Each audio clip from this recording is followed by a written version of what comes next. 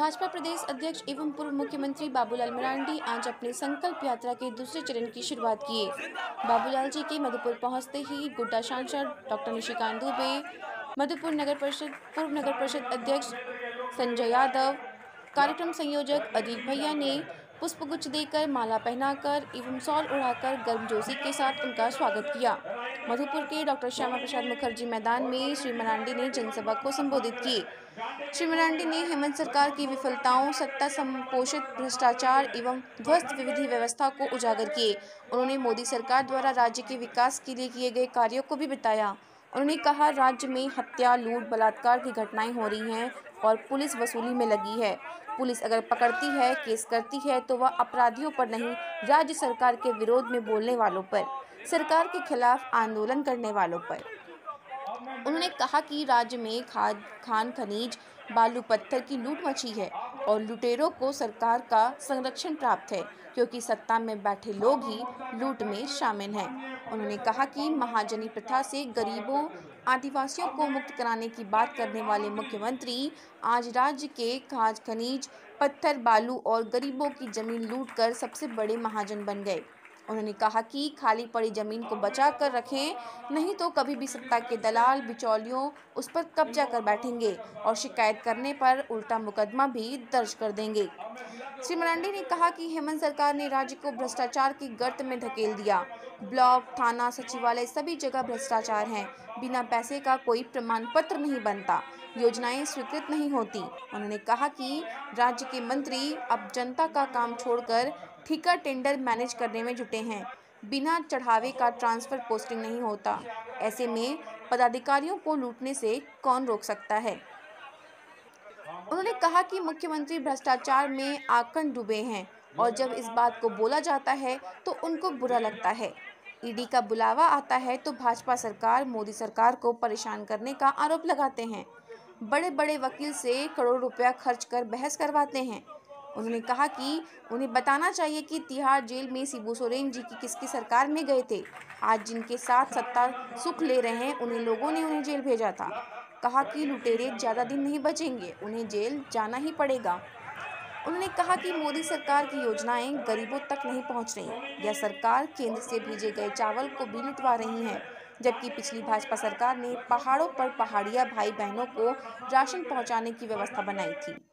हर घर नल जल योजना भी भ्रष्टाचार की शिकार है। पदाधिकारियों ने कहा कि 80 प्रतिशत राशि सरकार के खजाने से निकाल ली, लेकिन प्रगति शून्य है। उन्होंने कहा कि राज्य में ऐसी भ्रष्ट, निकम्मी और विकास विरोधी सरकार को उखाड़ फेंकने के लिए, संकल्प दिलाने के लिए यात्रा चल रही है। 2024 में उन्होंने नरेंद्र मोदी जी को तीसरी बार प्रधानमंत्री बनाने के लिए भाजपा को जिताने का आह्वान किए।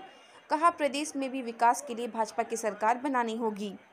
मौके पर सचिन रवानी, प्रमोद विद्यार्थी, रवि रवानी, पप्पू यादव, गुड्डू दुबे, अजय सिंह, राकेश वर्मा एनिल बोदा सुनीता जायसवाल, पुष्पा कर्ण आदि कई लोग सम्मिलित थे। जो हम लोगों ने अखबारों में पढ़ा था कि मैं एक कार्यकर्ता को कहना चाहता हूँ कि जिस प्रखंड में, जिस नगर में भ्रष्टाचार होता है, वो मुझसे आज्ञा न ले, वो आंदोलन वहीं से करे। मैं ये आदेश देता हूँ आपको, ऐसे हमारे नेता बाबूलाल मरांडी हम लोगों के बीच बैठे हुए इन्होंने ये अधिकार दिया भारतीय जनता पार्टी के कार्यकर्ताओं को। कि आप आंदोलन कीजिए। अगर आपके क्षेत्र में किसी तरह का कोई कार्रवाई आप पर करती है हेमंत सोरेन तो आपके साथ प्रदेश खड़ा रहेगा। हम आपके साथ खड़ा है, आपके नेता आपके साथ खड़ा रहेगा। आप आंदोलन कीजिए। इस प्रदेश से हेमंत सोरेन को मैं जेल भेज कर रहूँगा और बाबूलाल मरांडी को मैं मुख्यमंत्री बनाकर रहूँगा इन्होंने संकल्प ले चुका है। मैं भारतीय जनता पार्टी के कार्यकर्ताओं से कहना चाहता हूँ कि अगर हमारा विधानसभा में जो भ्रष्टाचार का गाथा गाया जा रहा है, जहाँ भाई भतीजा अपने परिवार के लोगों को जो बढ़ावा दे रहे हैं, मैं आपसे पूछना चाहता हूँ कि आप एक समुदाय के लोगों को ही क्यों आगे बढ़ाने का काम कर रहे हैं? आप एक ही समुदाय के बीच में विकास क्यों करना चाह रहे हैं? आपने जितना भी मार्क्स लाइट लगाए हैं उस सारा मार्क्स लाइट आप एक समाज के ईदगाह मस्जिद, मंदिर में तो नहीं दिए हैं, लेकिन मस्जिदों में जहाँ पर आपने दिया है इसको किस तरह रोका गया है और जो सरकार है, सरकार इसे काम ही नहीं करने देते हैं, बहुत सारे रोड की बात किए थे। यहाँ की सरकार सिर्फ़ यही चाहता है कि डॉक्टर निशिकांत दुबे वहाँ से अगर उद्घाटन करता है तो वो इधर से उद्घाटन करता है, ताकि उनका नाम नहीं हो, यहाँ का नाम हो। यहाँ की जनता जानता है, काम कौन करता है और काम कौन लेके आता है। हम सर, कुछ ऐसे जो दूसरे पार्टी के लोग हैं और अपने पार्टी के लोगों के कान में करता कि मैं गोवा में रहता हूँ। मैं मधुपुर में रहता हूँ और मधुपुर के लोगों के साथ जुड़ा हुआ हूँ और मैं वहाँ रहूँ या यहाँ रहूँ, मधुपुर की जनता के लिए काम करता हूँ।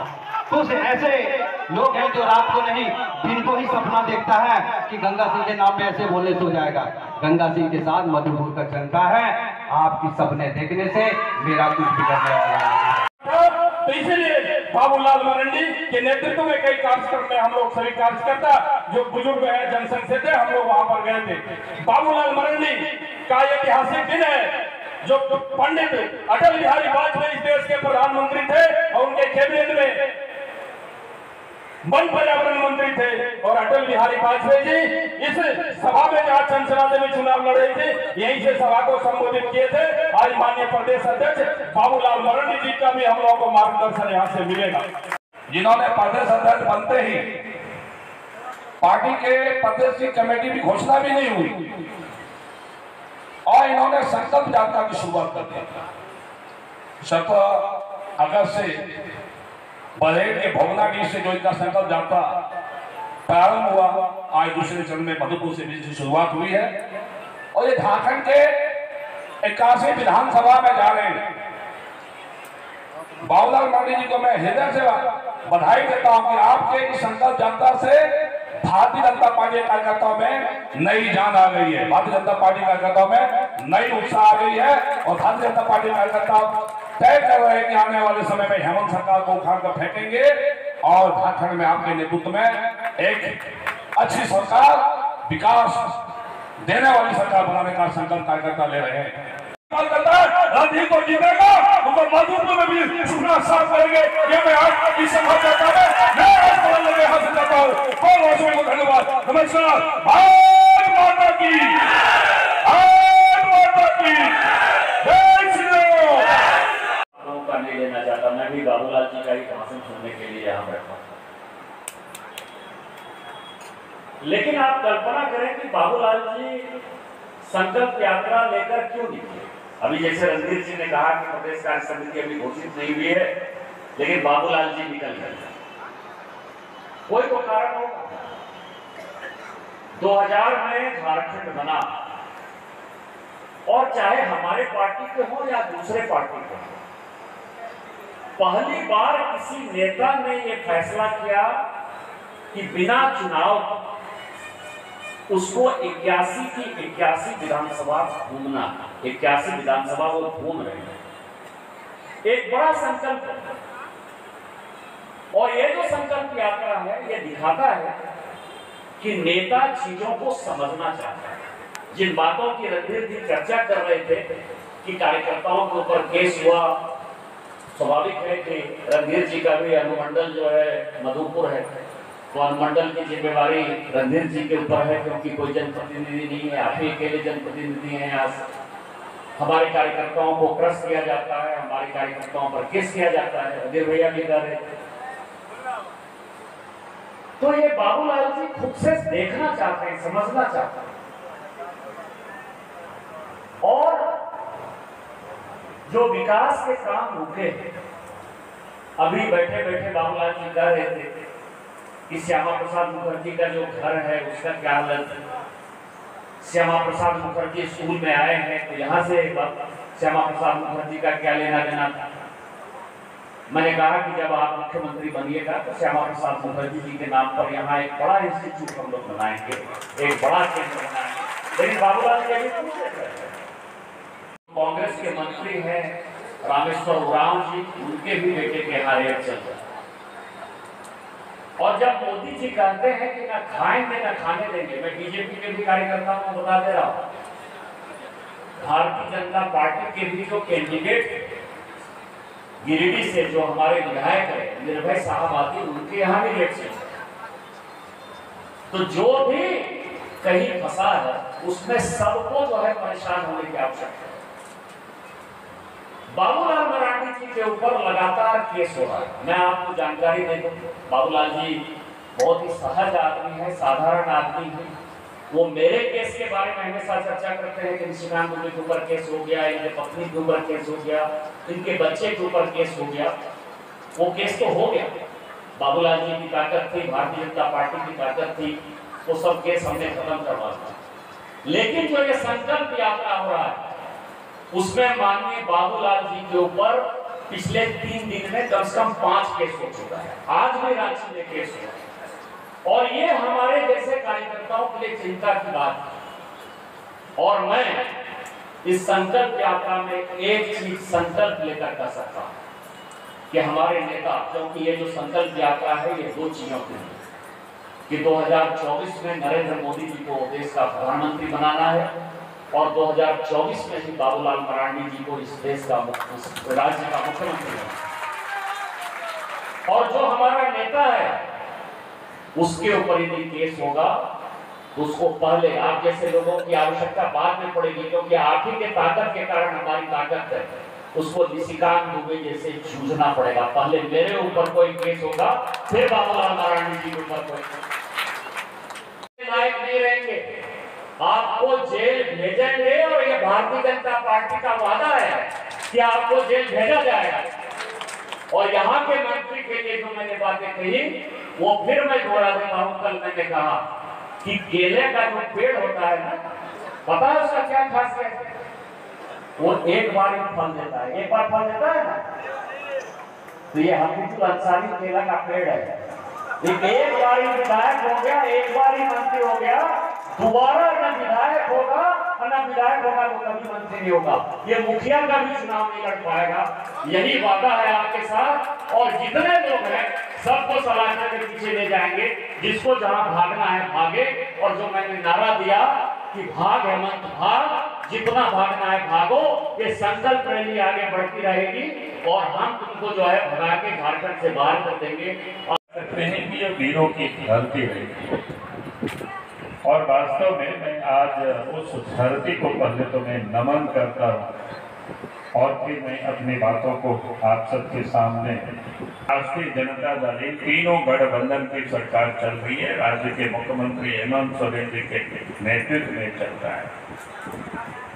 और आपके इस विधानसभा क्षेत्र से भी जो विधायक है, पिछले चुनाव में जीते और वो भी राज्य के मंत्री हैं। उनके बारे में आप सब लोगों ने काफ़ी बातें हो चुकी हैं। तो आज झारखंड की क्या स्थिति है? सरकार के जिम्मे जो काम होता है, सरकार के जिम्मे पहले तो लोगों से क्या लोग उम्मीद करते हैं कि भाई लॉ एंड ऑर्डर ठीक रहेगा, कानून व्यवस्था ठीक होगी। यानी लोग सुरक्षित जीवन दे सकेंगे, लेकिन आज झारखंड प्रदेश की जो हालत है, इस राज्य में आज कहीं भी लोग सुरक्षित नहीं अब इस प्रदेश के अंदर में चोरी, डकैती, हत्या अपहरण ये आम बात हो गई है। अब यहाँ तक कि आप तो अपराधी बेखौफ होकर के व्यवसायों को ऊपर के एक्सटॉर्शन करते हैं। व्हाट्सएप में लोग मैसेज भेजते हैं कि इतनी पैसा दो और पैसा नहीं दोगे तो फिर आपको जान से मार दिया जाएगा। और पुलिस के पास लोग जाते हैं तो पुलिस वाले कहते हैं कि भाई अपराधियों से अब ले दे करके मामला सलटा लो। मतलब क्या स्थिति है इस राज्य की? कितनी भयावह स्थिति है, आप इससे अंदाज लगा सकते हैं। और वास्तव में अगर लोग जब पैसा नहीं देते हैं तो उनकी हत्या कर दी जाती है, फिर पुलिस कुछ करती भी नहीं है। तो आज इस प्रदेश की ये हालत है।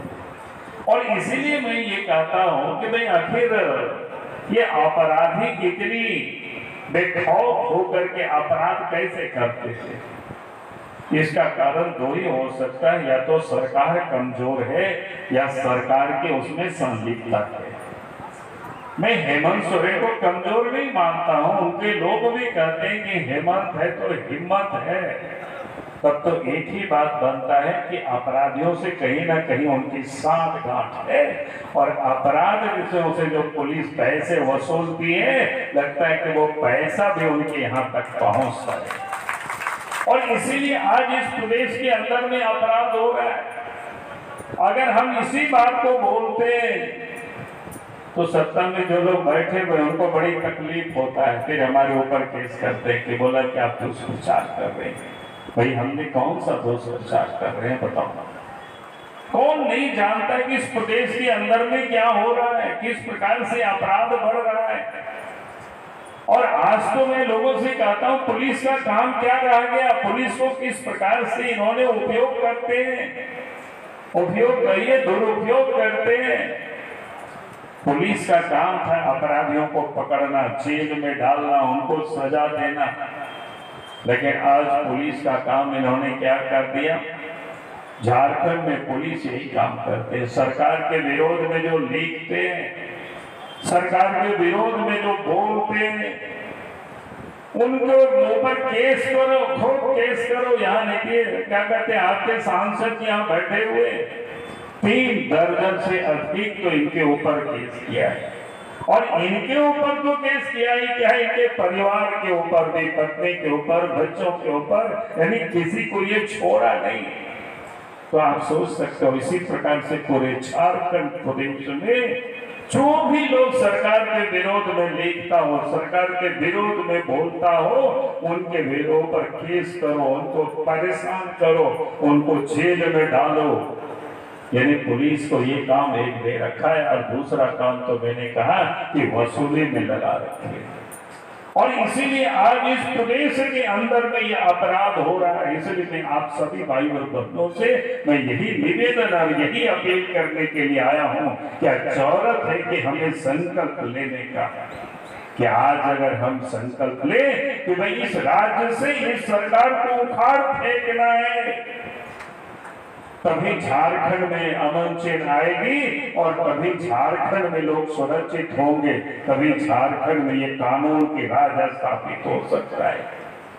दूसरा जो मामला है, सरकार से लोग कहते भ्रष्टाचार। आज इस राज्य के सभी दफ्तरों में भ्रष्टाचार है। बिना पैसा से कोई काम नहीं होता है। हर जगह पैसा लगता है। कोई भी काम लेके ब्लॉक जाइए, थाना जाइए, अंचल जाइए। लगता है कि नहीं लगता है, बताओ। तो हम गलत बोल रहे हैं क्या? हमें तो यहाँ लोग बताया है चाहे प्रधानमंत्री आवास हो चाहे पशु शेड हो यानी जो भी इस प्रकार का काम होता है तो बोलते हैं दस से बीस हज़ार रुपया यहाँ वीडियो। बता दीजिए हमें नहीं बोलेंगे। सही है ना? सही है। अब कहते हैं वीडियो साहब तो पूछते नहीं हो कि भाई क्यों आप लेते हो पैसा? तो लोग बोलते हैं वीडियो साहब से पूछते हैं। तो वीडियो साहब बोलता है कि महीना में और सीओ साहब बोलता है, महीना में किनको पैसा पहुंचाना पड़ता है? हाँ? मंत्री को। अब बताओ। हमें लोग बताता है, लेकिन हम आपसे थोड़ा खाली जानकारी को, सबूत को, पुख्ता को ठीक करना चाहते हैं। जो हमें लोग बताए, वही सच है। कि आप लोग सच है तो आप सब लोग उसको सच साबित कर बता दीजिएगा। भ्रष्ट लोगों के लिए आप कुर्सी में जगह नहीं है, बल्कि ऐसे भ्रष्ट लोगों की जगह कहाँ है, बताओ तो।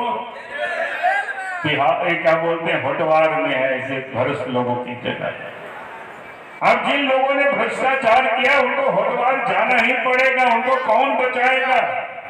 कोई नहीं बचा सकता है। बचाने के लिए भले दिल्ली से बड़े बड़े वकीलों को बड़े बड़े लॉयर को ले करके आ जाए।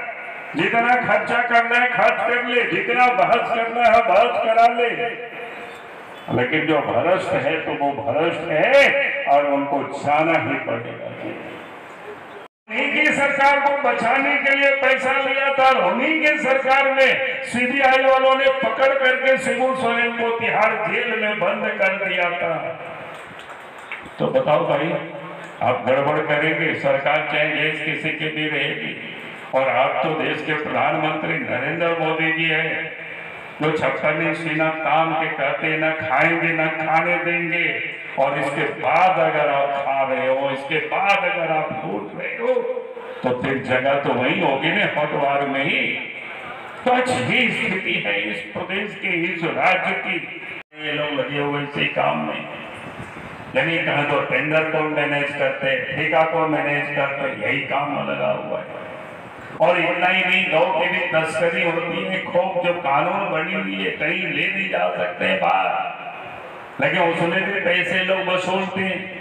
तो आज जो इस प्रदेश के अंदर में जो भ्रष्टाचार की ये सीमा है, वो कहीं भी किसी से छुपा हुआ नहीं है, सब देखते और इसीलिए मैंने कहा कि आप और तो और छोड़ दीजिए ज़मीन की भी आम यानी जिस प्रकार से इस प्रदेश के अंदर में किसी को भी काम तो कई एक बार लोगों से कहते हैं अगर आप कभी खाली ज़मीन घर द्वार भी ताला बंद करके 20-25 दिन के लिए कहीं बाहर चले गए तो पता चला कि हेमंत सोरेन के गुंडे आकर के, दलाल आकर के आपके उस घर को भी कब्जा कर लेंगे और पुलिस के यहाँ जा करके कहिए या एसपी के यहाँ जा करके कहिए तो कोई आपको सुनने वाला नहीं होगा। और कहते आदिवासियों के लिए राजनीति करते हैं रोज बोलते हैं कि हम गरीब के बेटे हैं। यहाँ तक वो कहते हैं कि महाजन को हमने भगाया।